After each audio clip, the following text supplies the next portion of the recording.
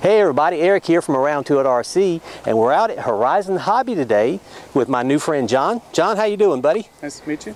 He's one of the product developers with the 350QX, That's correct. and uh, we've actually got one right over here that we're going to try out today. Now, Jon is going to try it first, and then he's going to give me the sticks. Okay, sounds good. All right, so let's see what happens. So we're going to start off in smart mode. Uh, throttle's all the way down. Do a left-right on input on the uh, rudder to start the propellers. Okay, And uh, in this mode, the height is relative to the stick position, throttle stick position. okay. So you find a spot you like, you just take your hand off the stick Wow. and it'll hold position. So you're actually, let me, can I just do this real quick? Look at this. Look. No hands. Fantastic. So in this mode uh, has uh, stick relativity mode. So any stick I put the cyclic stick into, it's going to go in that direction. So even if you were giving a full yaw input Right? and wanted to go right, it's going to go right. Left input, it will go left. Okay. And this is smart mode? This is in smart mode. Smart mode. Straight away, No, coming back towards me. I believe I could see where this would be useful if you were trying to track something. Would that be right? Yes. Well, this is also just for a beginner pilot that is not sure about their uh, orientation. Right. So you don't have to worry about switching the orientation in your mind when you're flying. And uh, you just give it whatever direction you want the craft to go, and it will go. Fantastic. It also has a max height of about 45 meters in smart mode. Right. So it's your stick input is not related to thrust, it's just Right. an altitude. Now we've got my GoPro camera on there and it's recording right now. So you think you may- maybe turn it around? Get a screen capture of us real quick? How about that? Nice. Now it is a little windy today out here. I, I believe we have 10 to 15 mile an hour winds, but it looks like the quadcopter's handling it pretty well right now. Yes. It does fairly well in wind. Uh, I wouldn't re- recommend filming in high winds, but it, it will hold position in some quite strong winds. So. Right. Okay. Very nice. Now, is it possible to show me one of the other flight modes with Sure. the with the uh, GoPro on it? Right there you see the LED is green. That indicates you're in smart mode. Okay. Uh, we're gonna do one flip on the switch and you see it switched over to thrust. So now I have full control of the thrust of the aircraft. Right.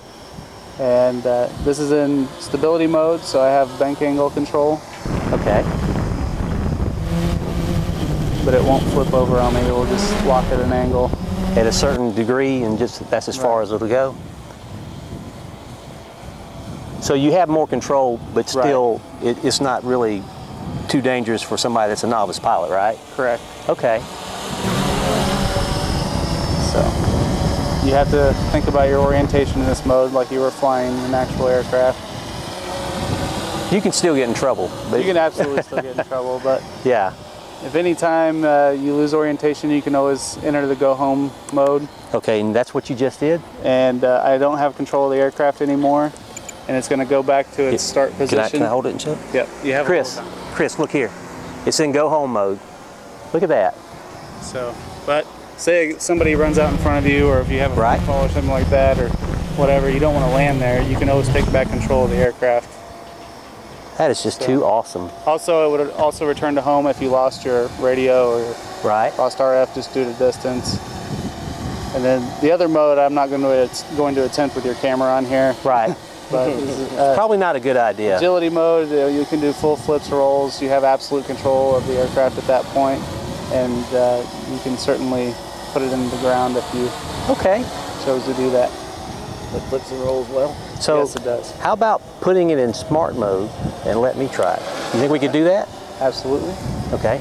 Wow, where did it go? All right.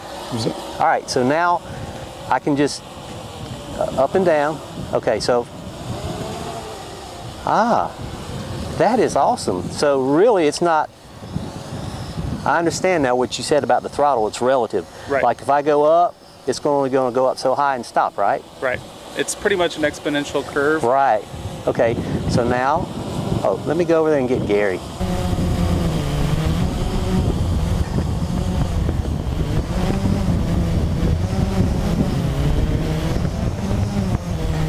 That is neat. All right, now I'm gonna turn it. Now I can turn it while it's coming back at me. Correct. Now that mode is awesome. I like that mode. I can see where this would be real helpful for somebody that wants to do some type of uh, aerial photography. Oh look, I forgot. I'm trying to get it in closer and it won't come. Right. It's hit that perimeter. It's hitting a safety, the safe circle, Right. which is uh, in smart mode will, will not allow you to enter the circle that's projected behind the aircraft when it starts. Okay, all right. Well, I want to go just around the field one time real quick. So now I can just go straight forward. And now if I want to go left, I just left stick. It's like you're drawing a circle on the cyclic. Ah, but yeah, I'm still confused a little bit because I'm trying to control it like I would a regular quad. Yeah, I'm doing the right input when I want to do left. that is too cool. All right, and then I hit the safe zone probably real soon, right? That's coming up very close. right? I keep wanting to hit right instead of left. Now, that is too cool. This is a fun quadcopter. All right, so let's go forward. Now that's probably going to make everybody feel dizzy, but I just wanted to try that one time. All right, and then I'm going to turn it around and just bring it right back. That's too awesome. Now, what is what are the flight times on uh, the battery pack that would come with this quadcopter? Uh, we've experienced uh, pretty much 5 to 15 minutes depending on how aggressive Really? you fly the craft. Uh, obviously, how much weight you have on it limits that as well. Uh, we've had 12 minute flight times with the GoPro attached.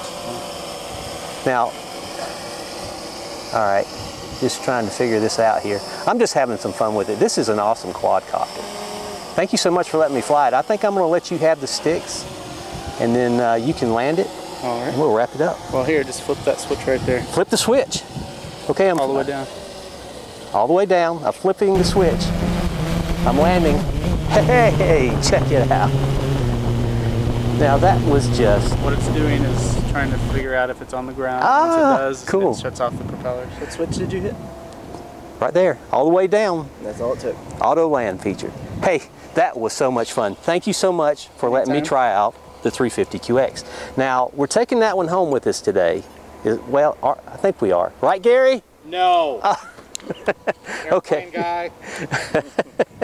Okay, well, like I said, thanks for letting me fly it. That was a total blast, and I can't wait to get mine. Thank All you right. very much. I think we're going to fly it a little bit more, but for now, we'll see you later on the tube, okay?